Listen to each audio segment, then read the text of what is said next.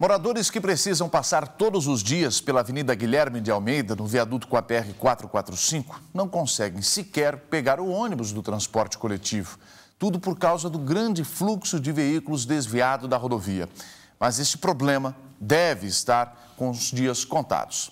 O quebra-molas em meia pista na Avenida Guilherme de Almeida não evita que os veículos passem em alta velocidade. Isso porque este viaduto continua interditado. Aí, quem precisa atravessar para pegar ônibus ou ir à escola sofre. Pior ainda, para os moradores dos conjuntos Saltinho, Tarobá e Atlanta, que ficam do outro lado da PR 445. Sim, eu moro aqui no conjunto Saltinho há 30 anos. Já tivemos muitos acidentes aqui na PR-445. Agora, com essa construção do viaduto aqui da PR-445, ficou de, difícil para nós, moradores, o acesso a Guilherme de Almeida. Ele, eles liberaram aqui para passar debaixo do, do, viaduto aqui, mas esqueceram de sinalizar ali para a gente, né? Colocar um quebra-mola um pouco mais elevado ali, porque os carros não param. Aqui não tem uma faixa, não tem nada ali. Para levar os filhos à escola, toda manhã é um sofrimento para atravessar. Quando chove, então, nem se fala. É, Juliana, deixar a Paola ir para a escola sozinha, nem pensar? Não, nem pensar. Eu, é, até quando eu estou de atestado, passo mal, alguma coisa, eu atravesso elas primeiro e volto para casa, porque não tem como. Por quê?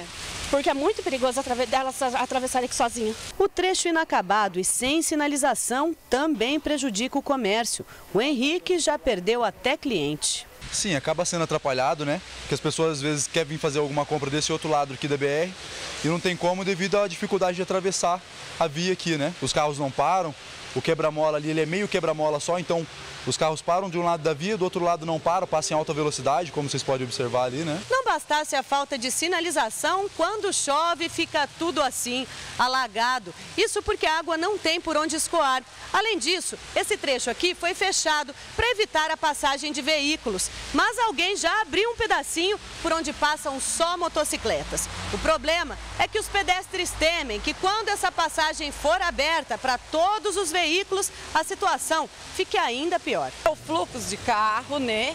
Ficou muita sujeira, sabe? Deu rachadura na minha casa, caiu azulejo do meu banheiro. Eu tenho que atravessar aqui todo dia, é muito difícil atravessar aqui. Ainda mais aqui que não tem, os carros passam muito correndo, é arriscado até ser atropelado. Aí aquela poça d'água ali também, estando chovendo, estando um sol, está em poça d'água. E as com medo da dengue não tem como. Mas, segundo o coordenador da região metropolitana de Londrina, o problema deve ser resolvido em 15 dias. É que o trânsito no viaduto da Guilherme de Almeida deve ser liberado neste prazo. Mas a liberação da PR 445 vai levar mais tempo, porque o trecho ainda precisa passar por uma vistoria. Esse técnico, inclusive, já está sendo contratado pela Secretaria de Transportes. É, já foi feito o processo de licitação e ele vai fazer um diagnóstico de todas as obras de áreas especiais. Aquele que nós estamos realmente com problema, que é da, da 10 de dezembro, a da Guilherme de Almeida, que a, não apresenta nenhum tipo de patologia, por enquanto, e acredito que não vai apresentar também, e a Valdemar Spranger. Ele vai dar um laudo para resolver em caráter definitivo, sepultar essa questão e retomar as obras e entregar para a comunidade.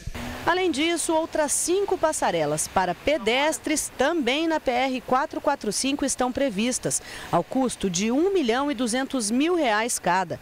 A primeira será em frente à Faculdade Pitágoras e as obras já começaram. Essas passarelas fazem parte do projeto. Tá? Não se concebe uma obra dessa sem passarela.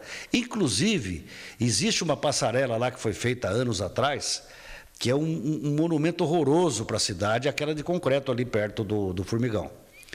Então nós vamos, a ideia, pelo menos, vou falar com o prefeito Quiref também, porque está no município dele, a ideia é demolirmos as escadas, aproveitarmos o pórtico e fazermos ali um portal de entrada da cidade. Tem algumas coisas que não tem como mudar. Aquela velha história, frase muito repetida, mas eu vou falar de novo, que é o seguinte: não tem como fazer omelete sem quebrar o ovo. É mais ou menos isso que acontece com a obra da PR 445. Mas eu disse mais ou menos. Porque tem algumas cascas ali que não precisavam quebrar desse jeito. Como, por exemplo, o, motor, o pedestre não consegue atravessar Guilherme de Almeida porque o fluxo de veículos é grande. Fluxo, a quantidade de veículos é grande passando. Quando tem uma brecha, os caras no chinelo, conduzindo os veículos. conduzindo os carros de maneira muito rápida, muito veloz. Então não tem como o pedestre atravessar. Daí tem um quebra-molas. Só que o quebra-molas só está na metade. Em uma das pistas, são duas pistas na Guilherme de Almeida, só está do lado de cá. Do lado de lá, não sei se gastou, se passou muito caminhão, se não era feito para isso, afundou. Ou seja, não tem mais quebra-molas.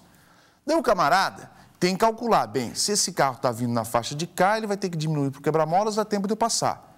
Se ele estiver na faixa de lá, ele não vai diminuir, porque o quebra-molas não existe, não vai dar tempo de eu passar. Mas e daí se o veículo estiver para o lado de cá e resolver mudar de faixa quando eu estiver atravessando? Daí ele não para no semana, no quebra-molas, daí ele me atropela.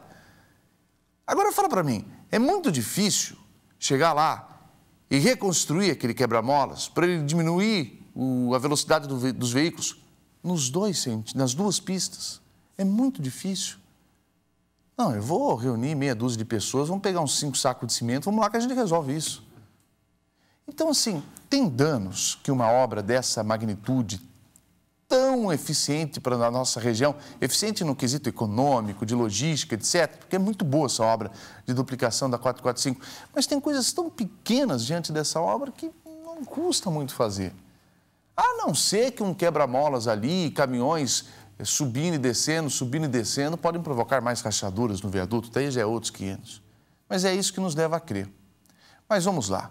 Eu acho que essa obra da 445 está ganhando um novo capítulo.